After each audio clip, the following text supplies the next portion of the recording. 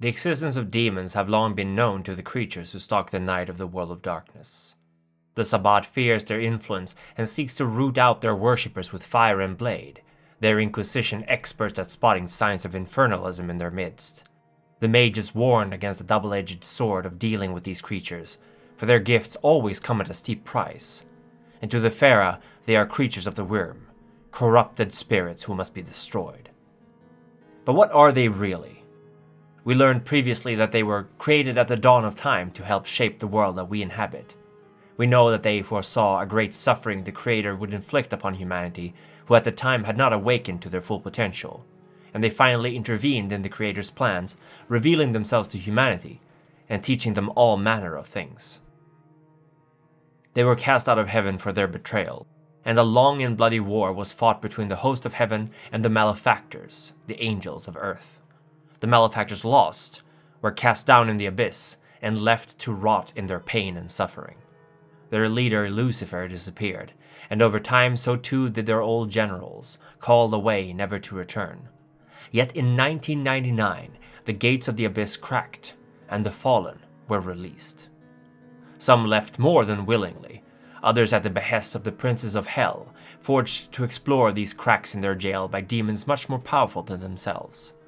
No angels came to meet them. No angelic host of the heavens stood against the demons as they reached creation once more, basking in the glory of what they had helped make real. The world they found was in a sorry state, for no angels were there to ease the pain of the dying. No angels would ward the wilds or the depths or the skies. Humanity had become overcome with their greed, and they had begun to destroy the mountains, sour the rivers, and fell the deep forests, all in pursuit of gratification that would still be denied them. The world was dying ever faster, and it cried out for release. It desired nothing more than to be destroyed and reborn at the hands of its creators. Yet the demons did not have much time to dwell on this realization, as they felt the pull of the abyss trying to drag them back to their prison.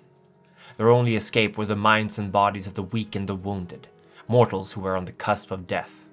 They would force the spirits out and claim these bodies as their own, and their memories with them. In a sense, they would become these humans, but in another, they would be mere intruders, unwanted guests who would wear the flesh and memories of their hosts, but who had never lived any of it, had never made the choices these humans had. This rebirth to many demons is what first awoke them to their own reality. Assaulted by a barrage of memories, emotions, and sensations, they would, for the first time in thousands of years, experience something more than just pain and misery and regret. In a sense, by allowing themselves to once more be touched by human nature, these demons would remember what it was like to be an angel. But of course, even these most intense surges of emotions would fade, as they always do, and the now possessed mortal body would rise from the ground, steered now by one of the malefactors, who found that they were no longer who they had been. By merging their demonic spirit with the flesh of a human, they had become both, and neither. Their endless fury and rage were tempered by the limitations of their mortal flesh, and their minds were expanded beyond belief by their demonic potential. They understood the world around them, but only by allowing their mortal memories to bleed into them, and each time they did, they would find it harder and harder to sustain what had kept them sane during their time in the abyss. The more they allowed the mortal form to help them, the more they would begin to realize that they were that mortal, now, and that they wanted to be them too. For a long time after, these demons would simply dwell in their human shells, live the same lives their hosts lived before they died.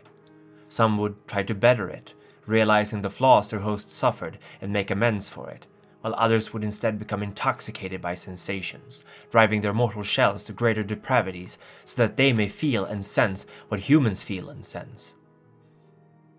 Very few of them wished for the alternative. To return to the abyss would be to lose all of what they had now gained.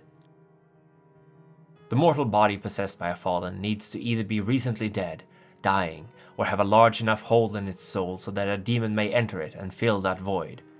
Disillusioned police officers who have seen one too many murder scenes, to social workers filing yet another report on domestic abuse that they know authorities will ignore, are good candidates. But so are drug addicts who have no care for their own well being while they chase their next high, or even a politician who has seen so much of the rotten corruption that rules the world that they give up on their faith in humanity. Sometimes a mortal will even let a demon into their body, or in the body of another, using powerful magic and summoning rituals. It is not always that a possession destroys or removes a body's soul either, meaning that these mortals may find themselves passengers unable to do anything but scream wordlessly in their minds as the demon hijacks their life and their flesh. To sustain themselves and to wield the powers of their angelic nature, a demon requires faith. Faith is the belief in something divine beyond the ordinary, and this is a rare commodity in the world of darkness. Demons can gain this faith in two ways either by reaping or by being offered it through pacts with mortals. Reaping is simply the act of revealing to a mortal the existence, beyond a doubt, of something beyond the natural, to display their celestial nature and to convince them of the existence of the Creator.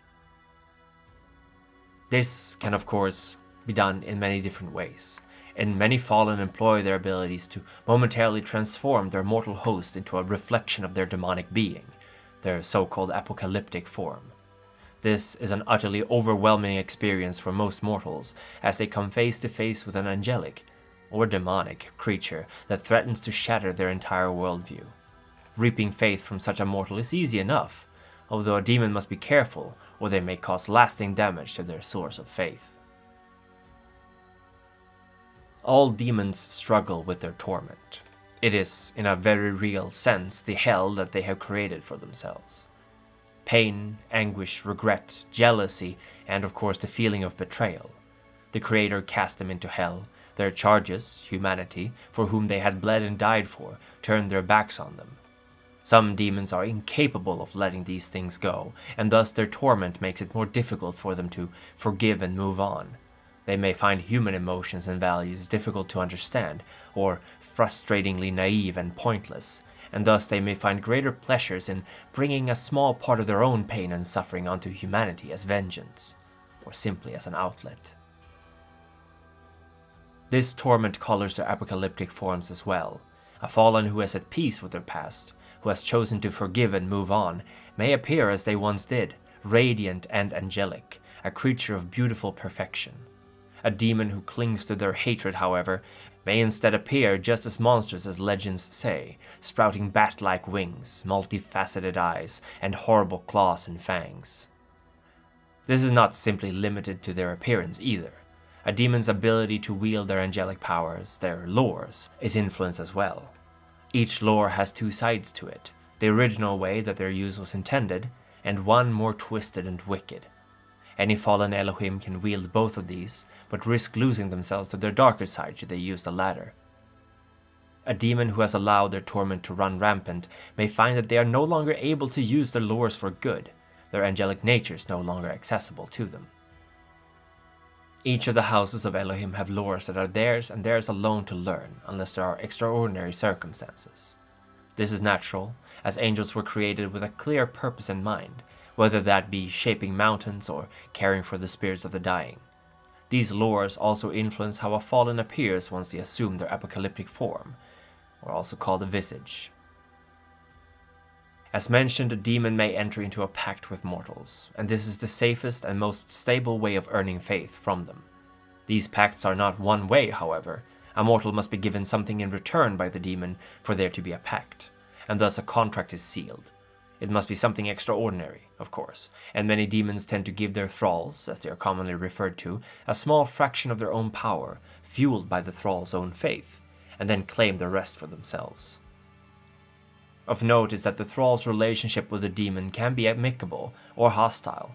What matters is how close the two are. If the thrall spends a considerable amount of time each day thinking about their demon master, then that bond is stronger than a mortal who does not. Each fallen has three names by which they may be called. Their host name is the name of the body which they possess, yet to most demons it is not merely a disguise, but a part of who they now are. Their celestial name is the name they are known as to other angels and demons, and which holds some manner of power over them as well, although limited. Names such as Baal, Lucifer, Mephisto, and the like are celestial names. Should one know an Elohim's true name, however, there is very little they can do against you if you wield it against them. A true name is eldritch and often something you cannot produce with your mouth alone. It could be the sound of twenty men shedding tears, to the cry of twin children born under a full moon, or the rustling of wind through a forest of birch trees on a summer's day. Demons are practically immune to magics that control the mind and induce fear, and they cannot be possessed by other beings if they are within their host. They are capable of seeing through most forms of illusion without trouble, being intimately familiar with reality, and they do not age as long as they have faith. Should they lose their last reserves of faith, their mortal bodies will begin to age normally. Demons are also surprisingly resilient to damage and poisons, and are immune to all forms of disease. Should they enter their apocalyptic forms, very little can bring them down, as they are able to shrug off even the most grievous of wounds. And due to their connection to reality, demons can also detect the use of supernatural powers near them, and thus they are often quite good at tracking down other night folk, although they may not know what are causing these disturbances, as they were imprisoned long before vampires, mages, or even werewolves existed. Inevitably, these demons will find themselves drawn to each other. They know, deep in their souls, that they are close to the end of the world's existence, and thus they gather together in order to figure out what they should do about it. When next we convene, I will discuss in more detail the many houses of the Elohim, as well as the factions they have created on Earth after their release. The three grandchildren of Cain wait patiently for the time of judgment to arise. Bambi Parsons, a leader with an unbreakable will, Procyon, who has been reborn as a god amongst Cain's angels, and Dougal, whose thirst for blood is matched only by his strength of will and purpose. Their child, the Methuselah, control our every move through their timeless jihad. They are Her Satanic Majesty Dani, whose mere presence chills the heart, Maximilian S. Hardcastle, a tutor and master of the jihad, Socrates Johnson, a masterful craftsman of stories, Lauren Eason, a trustworthy ally and friend, Alexander Cainhurst, inquisitive explorer and steward of the Cainhursts, and Snow, who oversees the progress of the Council patiently from the shadows. On the Council of the Primogen are seated Edward Reed, 06, Ian Nichols, the Black Friar, Brandon Hunter Hayden, the Autumn Alchemist, and Michelle Light, wise leaders and of good judgment. This week, the Council would wish to thank the Elder Gaslight88 for his continued support. We deeply appreciate your wise counsel. We would also wish to thank the Ancilla Harry Wyckoff, who has remained a staunch supporter through times of peace and times of trouble. Naturally, all our elders, Ancillae, and neonates receive our gratitude from the bottoms of our hearts. Without your support, this would not be possible. And thank you for watching. And I looked, and behold, a pale horse, and his name that sat on him was Death and hell followed with him.